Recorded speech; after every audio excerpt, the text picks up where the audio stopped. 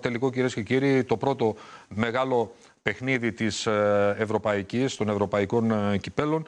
Η Manchester United ε, αντιμετωπίζει τον Άγιαξ 10 παρατέταρτο αυτό το παιχνίδι. Δύο ομάδες που δεν έχουν συναντηθεί ποτέ στην ιστορία τους σε μεγάλο τελικό, σε παιχνίδι που κρίνει έναν τίτλο και το δέλεαρ εκτός από το τρόπαιο ασφαλώς είναι και η συμμετοχή της ομάδας που θα κατακτήσει το Europa League στις φάσεις των ομίλων, στη φάση των ομίλων του επερχόμενου Champions League.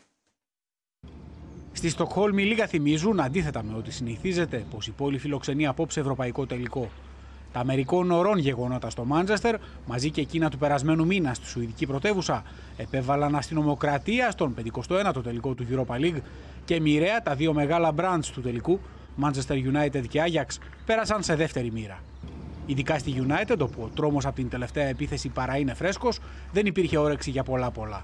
Ποδοσφαιριστές και Μοουρίνιο, αφού κράτησαν ένα λεπτό σιγή για τα θύματα, προπονήθηκαν χθες στην Αγγλία πριν ταξιδέψουν για τη Σουηδία. Εκεί ματέωσαν κάθε συμμετοχή τους στα προκαταρκτικά του τελικού, ακόμη και στη συνέντευξη τύπου, παρά μόνο επέλεξαν να πραγματοποιήσουν έναν αναγνωριστικό περίπατο στο τερέν της Friends Arena. Ο Ζωζέ Μοουρίνιο, του οποίου το μυαλό γύριζε 14 χρόνια πίσω, όταν κατακτούσε το πρώτο ευρωπαϊκό του τρόπεο, το κύπελο UEFA που αργότερα μετονομάστηκε σε Europa League, γνωρίζει καλά ότι αν δεν κατακτήσει την κούπα που εξασφαλίζει συμμετοχή στο επόμενο Champions League, η σεζόν θα είναι πλήρως αποτυχημένη. Ο Πορτογάλος καλείται να λύσει τα αμυντικά του προβλήματα απόντο του τιμωρημένου Μπαϊγί και των λαβωμένων Ρόχο και Σο. Κυρίως όμως θα στερηθεί τον άνθρωπο που συνδέει τους δύο φιναλεί τόσο μεταξύ τους όσο και με τη Στοκχόλμη.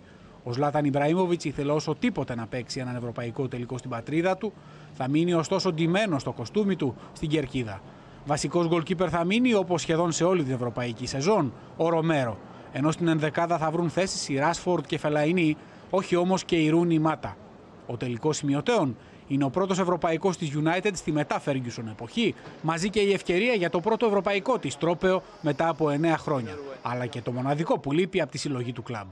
Απέναντι στη United, το outsider του τελικού Άγιαξ θέλει να συνεχίσει τις υπερβάσεις. Είναι ανικότατη με μέσο όρο ηλικία στα 22 χρόνια. Ομάδα του Πέτερ Μπός έφτασε ως το τέλος του δρόμου ξεπερνώντας ένα-ένα όλα τα εμπόδια. Χαμηλά όπως ο Πάο και ο Παναθηναϊκός, αλλά και ψηλότερα όπως η Σάλ και η Ηλιόν. Η Ολλανδική ομάδα που έχασε στη διάρκεια της σεζόν σχεδόν τη μισή της ενδεκάδα, Ελγκάζη, Σίλεσεν, Μπαζούρ, Γκούντελ, Κρούλ, ανέδειξε όπως ορίζει ο τρόπος του Άγιαξ ολοκένουργιους πρωταγωνιστές τη θέση τους. Στην ενδεκάδα του Πέτερ Μπό που θα στερηθεί τον τιμωρημένο αμυντικό του Φίρχεφερ, θέση θα έχει μόνο ένας ποδοσφαιριστής μεγαλύτερος των 25 ετών, ο Δανός Σούνε. Ο Ολλανδός τεχνικός ξεκαθάρισε πως η μόνη ελπίδα να νικήσει ο Άγιαξ στη United είναι να μην απαρνηθεί το παιχνίδι του. Στον πρώτο της Ευρωπαϊκό τελικό μετά από 21 χρόνια, η πρόκληση είναι μεγάλη και για την Ολλανδική ομάδα, η οποία έμεινε δεύτερη εντός συνόρων. Πριν τον τελικό, τον οποίο θα διευθύνει ο Σλοβάκος Κόμινα, θα κρατηθεί ένα λεπτό σιγή στη μνήμη των νεκρών, ενώ στη United θα φορούν μαύρα περιβραχιόνια.